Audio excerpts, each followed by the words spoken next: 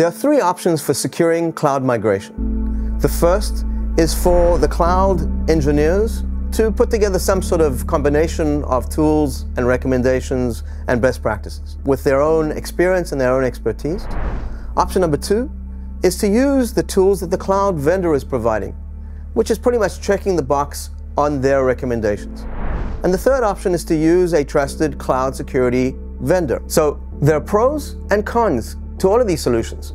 And it's important to compare apples to apples. If you're considering using a cloud vendor's security solutions, ensure that you're checking that they are able to provide the following capabilities. Does it have next generation firewall capabilities? For example, application control or identity awareness? Secondly, does it support advanced routing protocols, for example, BGP? Thirdly, and perhaps most importantly, can it protect you from zero-day threats?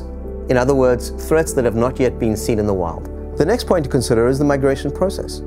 How easy will it be for your team to use the new solution? How well does it integrate into your existing tools and processes? Notice important, most organizations have or will have a multi-cloud or hybrid cloud strategy. Will your cloud solution support that? because you don't want to be locked into a single cloud vendor. Last but not least, you can't ignore the total cost of ownership, all the way from migration to maintenance, including integration costs, staffing costs, training costs, and the cost of the solution itself over time. Quite a headache, right?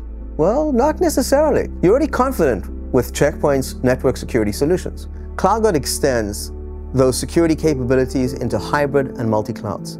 So you can Migrate to the cloud with ease and with confidence with the same security platform that your team is familiar with.